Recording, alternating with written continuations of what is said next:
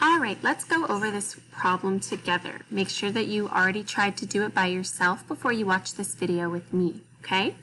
So this question says, Mrs. Walters wants to buy a bottle of glue. Which coins does she need? Well, first let's look at our bottle of glue and what, um, how much money is this bottle of glue? 27 cents.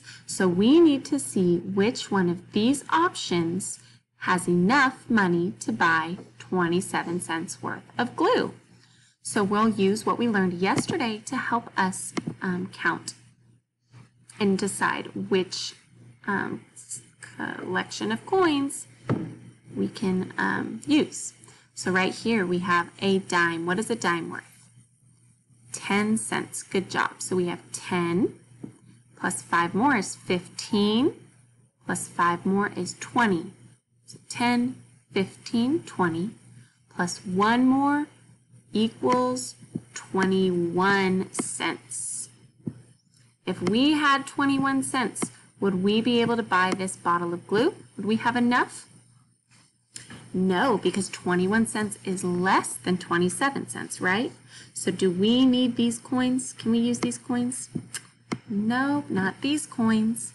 Let's look at our next um, coins, okay? So we have two dimes, so we'll count by tens. 10, 20. All right, now we need to add five more cents because we have our nickel, so that's 25, 26, 27. So this is equal to 27 cents.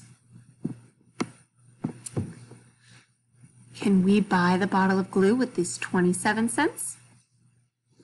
Yes, we can, right? We only need 27 cents to buy that bottle of glue. Well, let's look at our last one just to double check, okay? So I see that we have two dimes. We have 10, 20, 21, 22. This is 22 cents. So do we, if we have 22 cents here, do we have enough to buy our 27 cents worth of glue? No, we don't. So that means that right here, letter B, or the second choice, is the correct amount of choice, or is the correct amount of coins to buy our bottle of glue. Give me a thumbs up if that is what you chose. Awesome job.